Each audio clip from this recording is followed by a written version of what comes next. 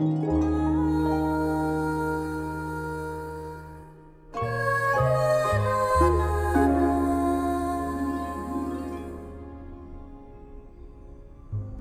Luffy, let's go home now. Hey, you, come back here. Where are you going, huh?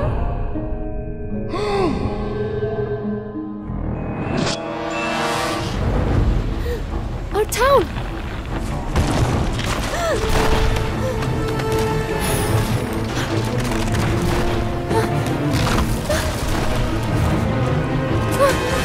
What